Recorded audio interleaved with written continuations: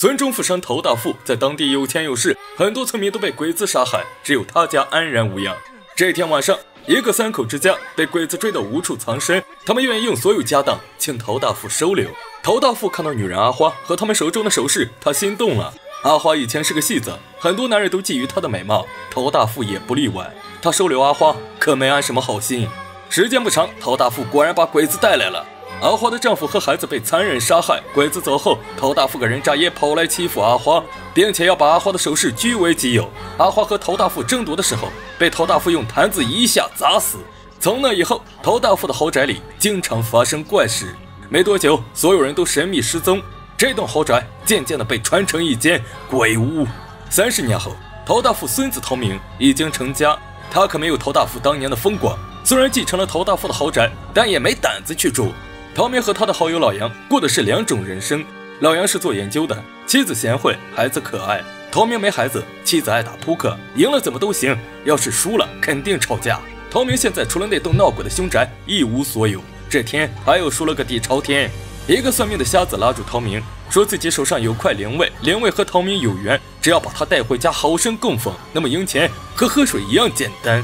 瞎子们要钱，陶明抱着试一试的态度去打扑克。神奇的是，陶明真赢了，而且是大赢。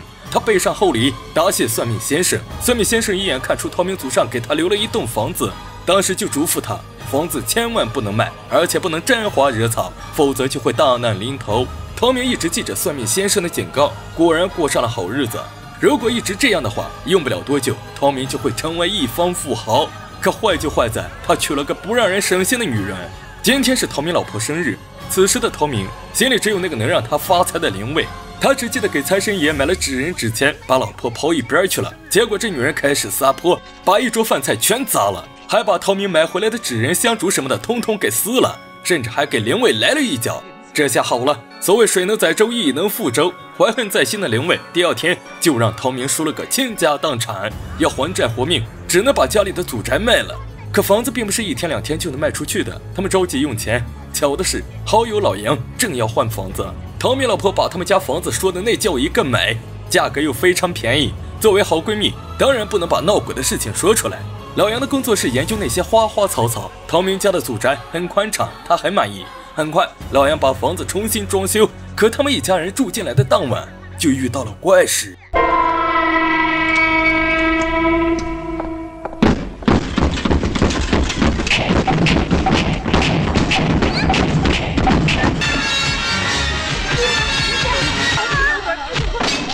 除了老杨岳母之外，其他三人都亲眼看到了这不可思议的一幕。岳母供上土地爷，挂上八卦镜。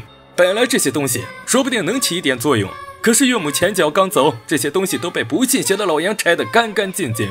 第二天，老杨孩子在冰箱里竟然看到一个小男孩在偷东西吃。起初老杨老婆不相信，可是当他把冰箱门锁起来的时候，冰箱开始动了，里面像是有什么东西被困住了似的。直到冰箱门被撞开，一切又恢复了正常。紧接着，老杨年仅四岁的儿子被一个玩具娃娃带着飞进院子里的枯井之中。老杨赶紧找来搜救人员打捞，可是整个枯井都搜遍了，也没任何发现。无奈，他们又请来一个神父，神父看起来气场很足，胆子也大。他们驱魔的手段无外乎念经和打算，可东方鬼和西方鬼他不一样。最终，神父使出大招，封井扯呼。老杨岳母给他们介绍了当地很灵的神婆，这神婆招魂可是一绝。神婆并没有在阴间找到老杨孩子的魂魄，这也说明孩子还活着。自从孩子失踪，老杨妻子思念成灾。这天晚上，妻子像是听到了儿子的声音，地下室传来的。她赶紧来到地下室，孩子没找到，却找到了当年阿花的那盒首饰。当年陶大富一家死的死，跑的跑，才没来得及带走。与此同时，又一次输得精光的陶明，得知老杨孩子失踪后，打起了歪主意。他给老杨打电话，谎称孩子在他手上，张口就要十万。你你卑鄙！你卑鄙如果你再这样对我，我做鬼也不放过你。老杨刚买了房，手头没钱，但是在地下室找到一盒首饰，但是那块胸针就价值二十万。为了赎回儿子，他们把胸针当做赎金。唐明得了胸针后，感觉好像见过，于是翻开他奶奶的照片，这胸针以及那盒没来得及带走的首饰，果然还在祖宅。尝到甜头的唐明还想要更多，于是打电话支开老杨二人，让一个男人进去偷首饰。老杨他们哪有心情把首饰藏起来？唐明他们在梳妆台上轻易找到，也在这时，恐怖的事情发生了。这货被一个看不见的存在折腾得上上下下、左左右右。这鬼就是三十年前被陶大富害了性命的阿花。当年把陶大富一家报复的家破人亡之后，阿花一家三口把这里当做了自己的家。抓走老杨孩子的目的也很简单，只要他们搬走，把房子恢复原来的样子，自然就会放了他们的孩子。两人照做，阿花也很守约定的把孩子放了出来。不过他们做了几十年的孤魂野鬼了。老杨他们刚好是最佳的还阳替身，于是临时改变主意，想要强行霸占他们。眼看老杨妻子就要被阿花附身，妻子怒了：“如果你再这样对我，我做鬼也不放过你！”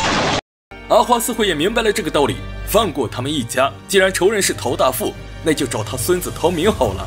深夜，又一次输得精光的陶明在街头遇见了一袭红裙、明艳动人的阿花。阿花只是一个眼神，就把陶明迷得不要不要的。可是咱报仇就报仇吧，为毛还要便宜这个登徒子呢？